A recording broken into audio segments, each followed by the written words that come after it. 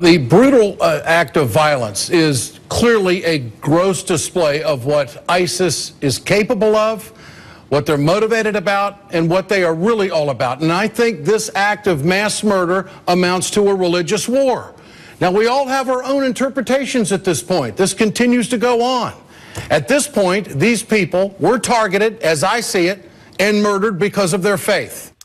MSNBC host Ed Schultz saying we're in a religious war with ISIS.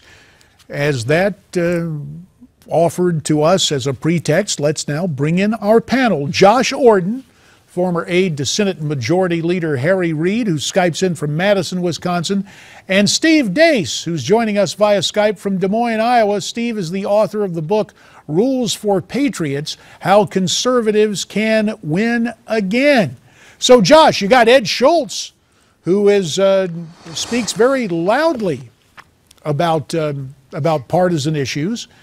And he said it's, um, it's a religious war. Meantime, the White House issues a statement about the, uh, the beheading of 21 Coptic Christians, referring to them as Egyptian citizens.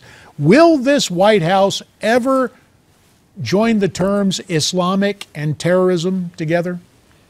Well, I think there's no doubt that it's terrorism. I, look, my friend uh, Ed Schultz uh, has a lot of usually has a lot of interesting points, but I, I wouldn't necessarily call him a, a religious scholar. Um, I think that the White House has smartly um, avoided some of the more bombastic terms here, and I think that I, am a little actually sort of curious why conservatives have been so angry at the White House for not using um, the more bombastic um, sort of religious terminology. I think that um, it's not something that's necessarily productive here. I don't think Obama saying magic words is going to summon, you know, the Power Rangers or something like that. I, I think that this is about um, a deliberate strategy. This isn't about um, some interesting lexicon. Uh, what about that, Steve? Is it mere bombast to call it Islamic terror?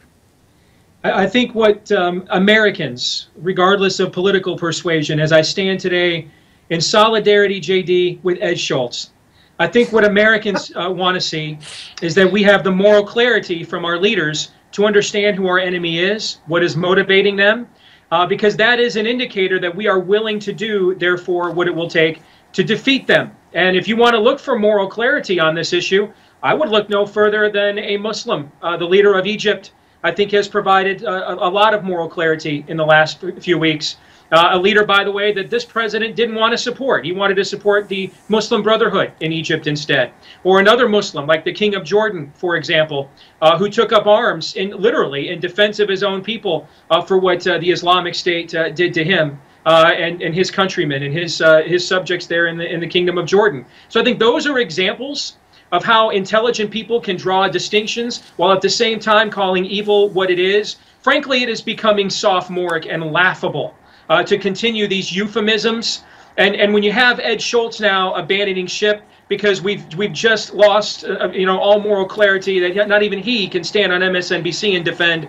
I think that's a pretty good indication that the reach has exceeded the politically correct grasp of this you know, White House. I guess I guess I would never I would I guess I would never use Ed Schultz as a as a as an indication of any necessarily moral I'll make a note of that. Hey, conservatives, make a note of what you just heard. Ed Schultz is not to be taken seriously from the man from Progressives United. We now have well, it on the record, so the well, rest of us can stop watching now. Yes, that's yes, that's very sophomoric as well. But I'm what I'm saying is that Ed Schultz is not going to be my weather vane uh, when it comes to sort of religious terminology.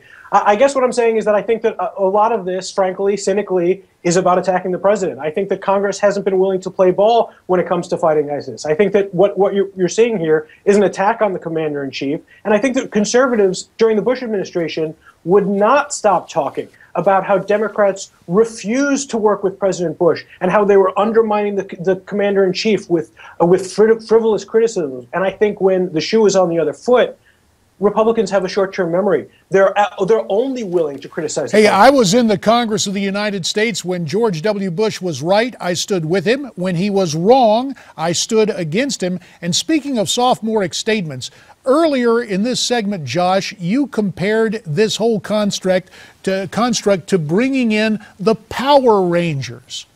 Now, something as serious as uh, religious persecution and people losing their lives. Sure, you want to clarify that remark? Yeah, yeah, absolutely. This isn't about. Uh, of course, this is a very serious uh, incident. I think that the rise of, of these sort of hateful incidents, and, and you see the rise in, in anti-Semitism, especially, is deeply concerning. But what I guess what I'm saying is Republicans seem to be laying so much on specific terminology, as if that if, if Obama were to simply use their preferred phrasing, somehow this his entire strategy Well, I tell you what, change. when, when we come back, case. when we come back, we'll take a look at the language you think is so circumspect, talk more about it, and get to other topics. Our political panel continues here on America's Forum. Welcome back to America's Forum. Uh, Josh Orton on the left. I just want to make sure the language is out there. This is this is deemed circumspect by Josh. The United States condemns the despicable and cowardly murder of 21 Egyptian citizens in Libya by ISIL affiliated terrorists. Let's welcome back Josh Orton on the left, Steve Deace on the right. Josh, let me try to point this out to you, and I'll use it in Obama centric terms.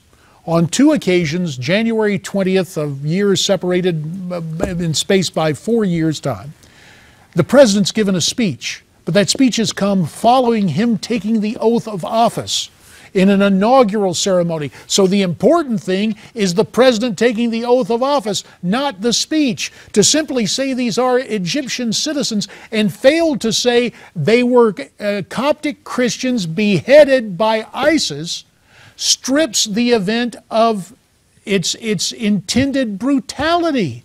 Can you see the distinction now, apart from hyperbole? I, I actually think that there's there's there's two there's two questions here.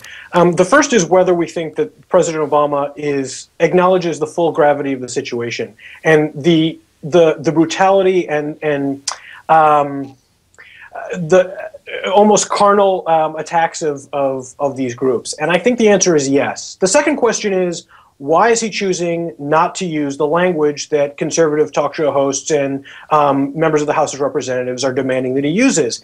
And I think that that question rests on whether or not you think the president, uh, whether what your answer is to the first question. My answer to the first question is yes, of course he understands the gravity situation. It is not because he refu- he's digging his head in the sand. This is a question of whether or not he wants to engage in a, a, a larger thing that he thinks could potentially be a distraction from the actual tactics and the strategy. And I think that what you've seen is fairly convincing arguments that um, it's not actually going to be productive to engage in the much larger um, abstract um, vernacular of a religious war because this is a very specific thing. And I think Obama has very smartly, um, as President Bush did during um, during his administration, in pointing out that these attacks do not represent the the, the Muslim religion uh, writ large. Well, I'll tell you a problem Bush had, if you want to hear a problem, Josh, calling it the war on terror. That's a tactic, not an enemy. But let me give it to Steve Deace. We got a couple of minutes left, Steve. In debate, you accurately define the terms and the participants. These guys just don't want to accurately define the terms?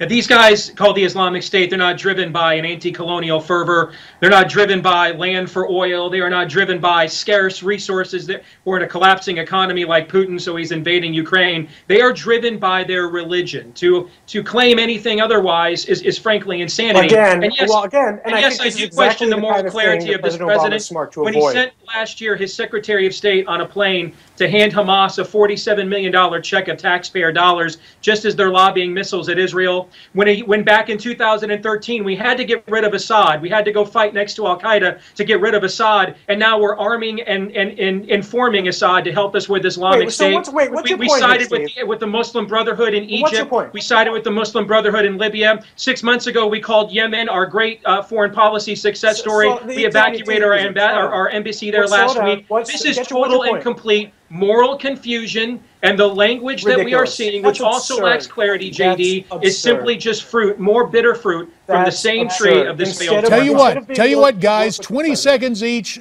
Josh, go ahead and respond. I think it's unfortunate the conservatives have been unwilling to work with the president and instead continue to attack him on on his on his lack of using uh, these grandiose terms that seem inappropriate. Steve Deace, 20 seconds to you.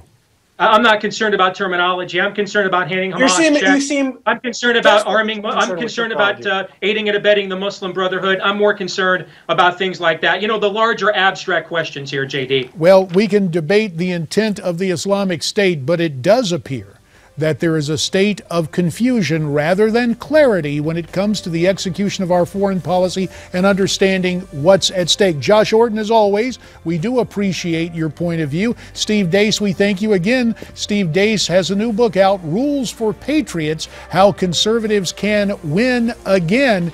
We've had some heavy duty topics. When we come back, uh, we'll try to take a breather and put a smile on your face with Comedy Corner.